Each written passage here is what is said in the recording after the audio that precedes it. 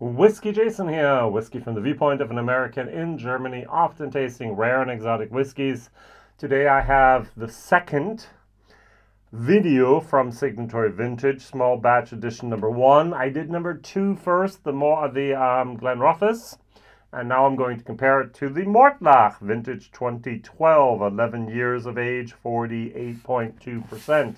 This is Whiskybase number 237. 382. All right, this is according to the label here, Oloroso Sherry and Bourbon Casks from Pitlochry to the world, and it's unchill filtered and um, no added color. 69 euros 90 the original price and i'm talking about days before was the recommended retail price is 74 uh, 74 um, euros 90 so 75 euros. At the moment it's going for 70 euros.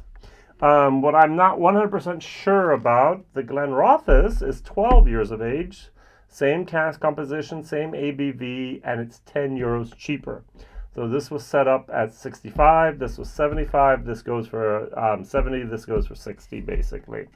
All right, so um, my question for me, not for you, but maybe you know this better than I do, um, Edrington Group. So we have Macallan, we have Highland Park, and we have here Glenrothes. Do they sell their casks cheaper than Diageo, for example, Mortlach? Um, it's one year younger, and yet it's 10 euros um, more expensive. Hmm. All right, so I'm going to compare the two of these. This is number two. This is number one. I'm doing it, as I said, in the wrong order, but I wanted to compare this to Buna 12. Buna 12 won, by the way. So, um, you can go out and buy a 45 euro Buna 12 and it will beat these, both of these. All right? In my personal opinion. Sorry. Mortlach is not a um, bottling I get very often. I do not like the 12. The 14 was nice. The 16 was good. And I think there's a 20 that I've never had. And there's a 30 I've never seen. um, I do see a special release from Mortlach every once in a while from the Diageo. Um, and every once in a while, independently bottled whiskey. Mortlach and sherry, ah, I'm not sure. And on the nose, I get more of a mineral type of chalky moment. I get a little bit of tobacco leaves with a earthiness, dried tobacco. Okay, no sulfur. Nice. Over here, the Glenrothes. Much more of the earthiness, much more of the cherry, much more of the, the, the leaves that are decomposing in your compost pile, and a tiny, tiny little bit of sulfur. Good. I'm not sure if the sherry goes well together with the Mortlach. Cheers. Mm.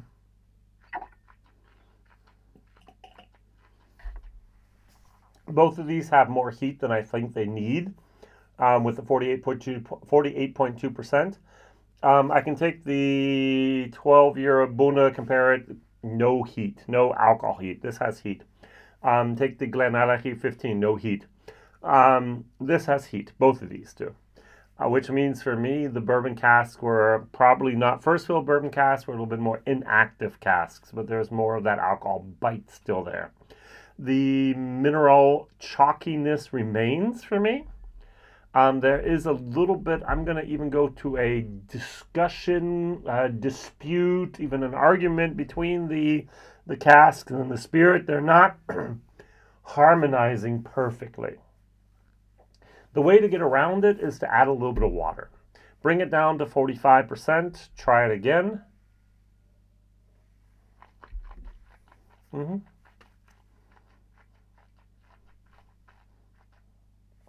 And suddenly they're good friends. Not best friends, but good friends. Um, that sherry, that plum, that tobacco leaf, dried tobacco leaf uh, moment, all that's in here is very good. Mortlach is 2.81% um, times distilled. Google it, watch a video about it. Um, I'm not going to explain it here. um, it's a C. With water, it might scratch on the C plus, but not really.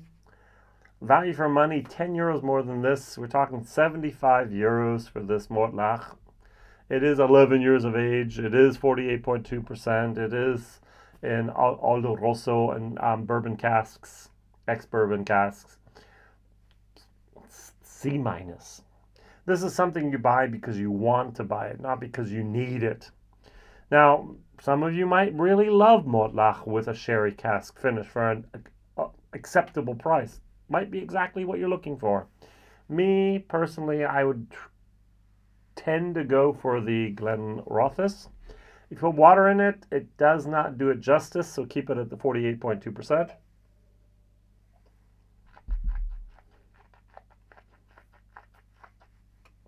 And the thing that really surprised me the most was the viscosity of these two, the, the, the mouth feel. This has syrupy moments, this has weaker, thinner moments. Thin, thick. They're both 48.2%. This is 12, this is 11. They both use very similar cask compositions and so on. And yet the Glenrothes has the better spirit, in my opinion.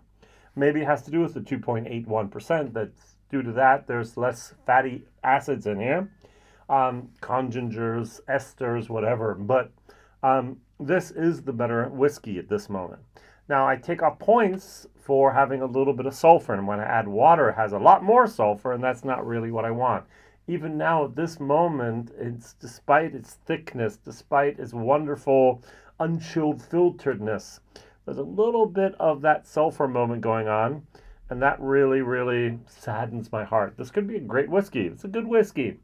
This is a good whiskey that might have been great if there had been something else, maybe just a bourbon cask maturation, instead of putting that sherry, painting it over with that sherry moment. And the uami, unami here, the the the the nice, um, almost like a type of fun, marshmallow, marshmallow, mushroom type of um, moment going on here. It's like basement funk.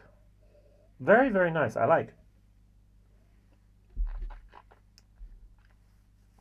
I'm not doing justice with my words. Sorry. So this is a C plus. This is a C. Value for money, 60 euros. C to C minus. 75 euros originally, now 70. Uh, it's a C minus, definitely for the for the value for money, in my opinion.